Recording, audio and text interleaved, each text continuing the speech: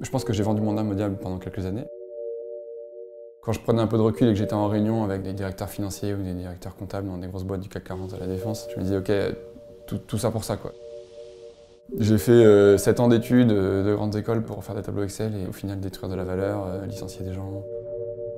J'aurais pas pu faire un an de plus là-bas.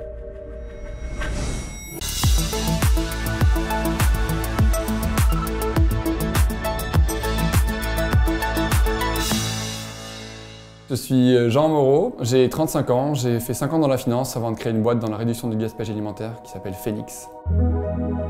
Quand j'étais petit, je voulais être diplomate. J'ai fait des études qui mènent pas à ça, je suis arrivé à l'ESSEC en école de commerce. J'ai fait un premier stage dans la finance dans une entreprise, puis après j'ai fait un deuxième stage en finance dans une banque d'affaires américaine.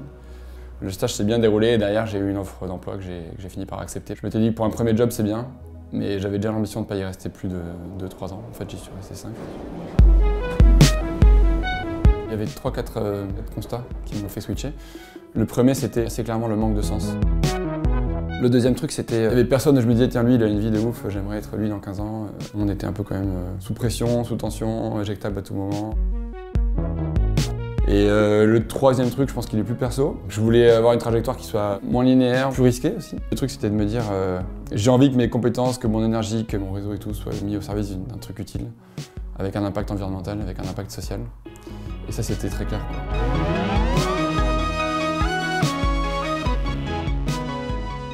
Les gens ne comprenaient pas, ils se disaient ok, euh, pourquoi tu quittes ton CDI, ce salaire, ce confort, cette boîte qui est quand même une belle boîte, pour aller créer un truc euh, à zéro. C'est trop tôt, c'est trop jeune. Euh. Et donc je sentais que dans le regard des gens, il y avait un truc qui était genre.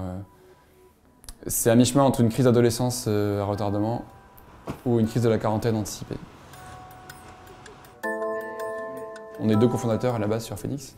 Il y a mon associé Baptiste et moi. On s'est dit il y a un rôle à jouer d'intermédiaire entre les gens qui gaspillent et les gens qui récupèrent. J'avais pas d'expertise particulière sur la food. On a fait notre trou avec Baptiste sur le terrain, quoi, en disant on va bosser, on va mettre le focus et l'énergie qu'il faut, et puis euh, en quelques mois, quelques années, on aura rencontré les gens qui comptent, et on aura essayé de montrer qu'on est des gens sérieux, et puis euh, c'est ce qui s'est passé.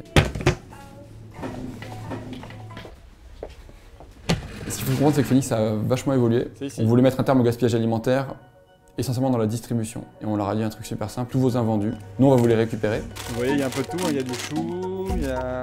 Et on va les proposer euh, au reste du cœur, du 92, à Secours Populaire, Secours Catholique, Secours Islamique. Une fois qu'on a fait ça, qu'est-ce qui reste dans la poubelle? Il reste encore des produits. Donc on va brancher une deuxième filiale, qui est l'alimentation animale.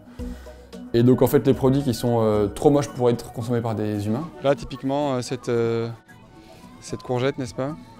Un peu fatiguée. Bah, on va les donner non plus à des humains, mais à des chèvres, des parcs animaliers, des centres équestres, des porcheries. À partir de J-3, J-2, on va proposer l'invendu à moins 30, moins 40% aux consommateurs avec une application mobile. On a aussi un réseau de magasins physiques.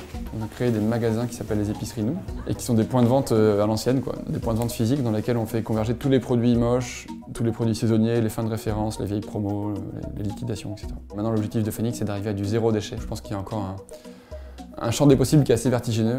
On est au tout début de la révolution de la food et à mon avis, il y a encore euh, la place pour plein d'innovations, plein de startups. Les deux vraies réussites qu'on se souhaite collectivement de, faire, c'est euh, créer un champion français de l'anti-gaspillage au niveau européen.